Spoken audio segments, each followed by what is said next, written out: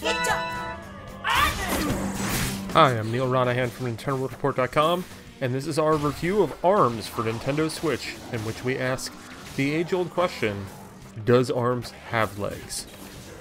Following in the footsteps of Splatoon, ARMS is another bold new take on a familiar genre led by a younger team at Nintendo. Instead of a shooter, this time it's a distinct take on the fighting genre, fusing together a behind-the-back viewpoint with optional motion controls and a weird arm-firing conceit. The raw gameplay of ARMS is mostly brilliant, layered with far more strategy than meets the eye. Best as a multiplayer experience, everything coalesces beautifully when you're rocking split-screen multi or chilling in a lobby online as you gear up for the next arm-chucking spectacle. The single-player focus is definitely a little on the light side, but the variety of options and modes help mostly make up for that failing.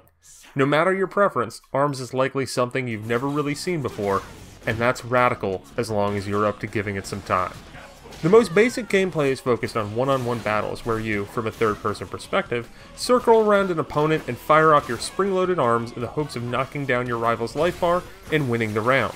It's like a traditional fighter in that regard, as it's all about executing strategies and reading your opponent's tendencies, looking for the right time to strike. To complicate matters, you can charge your punches up for more power, try to grab your opponents, which breaks through a defensive guard, and also mix together jumping and dashing to outsmart your foe.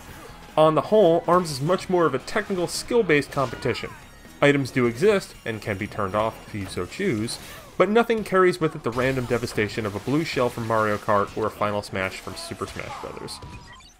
ARMS has two primary control methods, and they both have their pros and cons. The motion controls use both Joy-Con, one in each hand, and require you to move by using the Joy-Con like giant joysticks. Punching is executed by, well, punching and every twist and turn of your hand lets you put some spin on each punch. The motion controls have a bit of a learning curve, but as far as I can tell, they are probably the best way to play the game, as the options you have with maneuvering each arm independently is a huge advantage.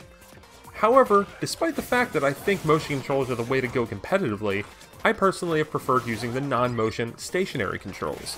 Using anything from the Pro Controller to a single Joy-Con on the side, these controls are far more traditional, mapping movement to the left joystick and punches to the triggers. While the lack of precision in terms of controlling your punches is sorely missed, as long as you're not trying to be some top-tier ARMS master, these controls are completely and totally fine. My recommendation when it comes to the controls and ARMS is to mess with both for a while, and then commit to your preferred playstyle. Also, avoid using the single Joy-Con, it's way too cramped for this game. While you're finding your control style, you can also seek out your preferred character. Each of the 10 different characters have their own special abilities. The heavy and large Master Mummy can heal while guarding. The deft Ninjara can teleport dodge while in the air. The police robot Byte has his robot dog Barq, helping him out in battle. Learning the ins and outs of each one is great for using the character effectively and also knowing how to combat rivals. To start, each character has three unique arm types that you can equip on each limb. Over time, you can unlock each arm type for every character, so you can fully customize your favorite character to meet your preferred playstyle. It's still very early in the potential ARM scene, but it seems like the complications of 10 characters that can wield combinations of 30 arm types can make for a huge assortment of nuanced strategies and playstyles. Where do you spend the most time in ARMS will most likely depend on your own preferences. For me, I'm a big fan of the online party mode, a mode where you can sit in a lobby with up to 20 people total. Players can cycle in and out of randomly assigned matches in a way that emphasizes a more casual hangout. A voice chat option would make this more fun, of course, but it still works well even without it. And that voice chat option might show up in the future Nintendo Switch Online. The Friends option also mimics this party style, though the former offers much more customization for what kinds of matches you can play. I foresee many a night sunk into Friends or Party in ARMS. The modes present in Party Mode and the Local Versus mode are abundant and varied, though the regular one-on-one fighting is the heart and soul of the experience. Additionally, you have a 2-on-2 team battles, free-for-alls for 3 or 4 players, and a bunch of goofy modes like V-Ball, Hoops, and Skill Shot that help hone specific skills that can be used in normal battles. The off-kilter modes are perfect for a quick change of pace, but they don't nearly have the depth to withstand prolonged play. Grand Prix is the primary ARMS single-player experience, as it takes you through 10 matches against each different fighter. It's a nice way to test your might, and beating difficulty level 4 is a requirement to unlock ranked online matches, but it's weirdly hollow. While the characters and the world are rife with personality, so little of it seeps through the purported story. The experience is more or less identical for each character outside of some moderately amusing written dialogue. Grand Prix isn't bad, just disappointing.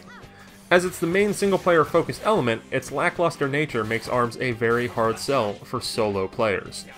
A few other solo aspects sweeten the pot slightly, but they are almost entirely meant for training for multiplayer. ARMS Test is an endless assortment of matches that pair your chosen fighter with random arm types in each round. If you like those arms, you can try to get them in the punitive Get Arms mode, but that can get very frustrating as there are 270 different types of arms to get and the process is slow and random. ARMS is a heavily multiplayer focused game in the same vein as Mario Kart 8 Deluxe. A single player Grand Prix might exist in both, but it's largely just a gateway into the greater online multiplayer world. Comparing ARMS to Mario Kart 8 with regards to the online experience comes out favorably though, as ARMS' fresher gameplay style and highly polished online lobbies and infrastructure makes it a much more active and engaging online affair. Even with the Grand Prix drawbacks, ARMS is a fantastic start to a new franchise. Time will tell if ARMS truly has legs, but it's definitely firmly planted at launch.